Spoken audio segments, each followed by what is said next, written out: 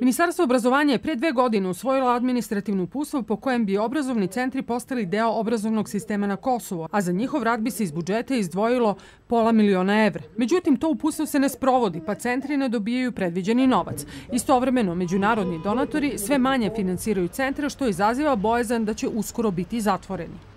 Ono što očekujemo od institucije jeste da uh, odmah što je premoguće usvoje taj uh, uh, priručnik o registraciji obrazovnih centara i po automatizmu otvore proces registracije obrazovnih centara koje će otvoriti takođe mogućnost finansiranja ovih obrazovnih centara od strane institucija. Prošle godine je takođe parlament Kosova usvojio budžet u iznosu od pola miliona eura za finansiranje ovih obrazovnih centara, samo zato što oni nisu, proces registracije nije pokrenut na vreme, taj novac nije mogao da se aktivira, aktivira i dalje stoji negde.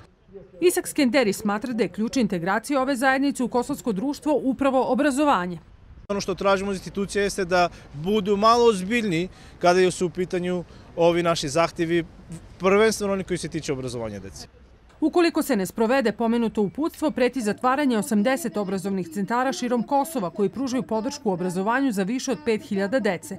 Ukoliko prestajemo sa rasa decom, onda većina deca i romska biće biće većina izostanka, biće, biće veoma loš uspeh za njih, za njihov. I kako su deca navikli oko pomoći, oko pomoći dodatka, oko pomoći za, za decu, pogotovo preškolska deca.